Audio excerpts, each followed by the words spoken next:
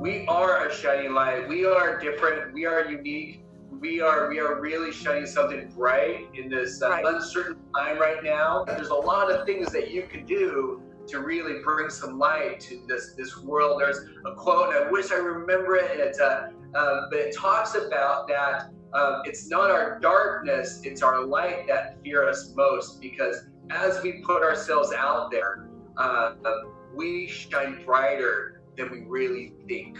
And sometimes putting ourselves out there is the hardest thing to do.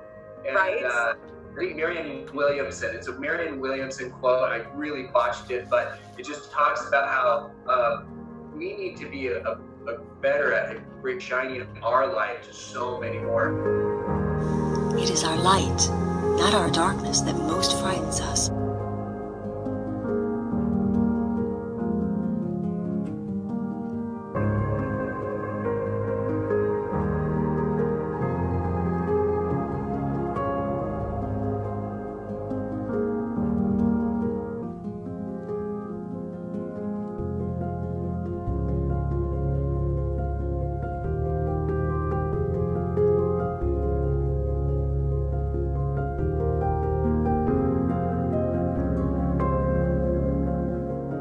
When you wrote that, that came from what part of yourself that you knew that? Well, remember, this book is a reflection on the principles in the Course in Miracles, so I can't take credit for what excites people about this book or what excites people about that. Mm-hmm. That we are more afraid of our light than our darkness didn't come from me. That's from A Course in Miracles.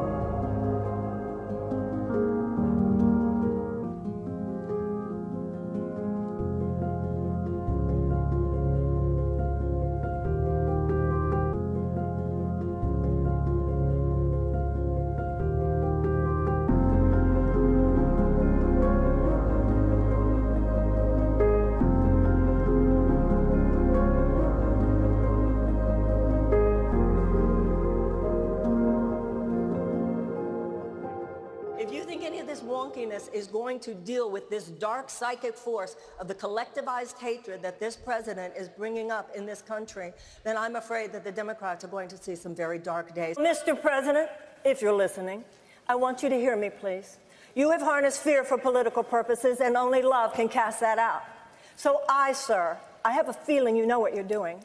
I'm going to harness love for political purposes. I will meet you on that field, and, sir, love will win.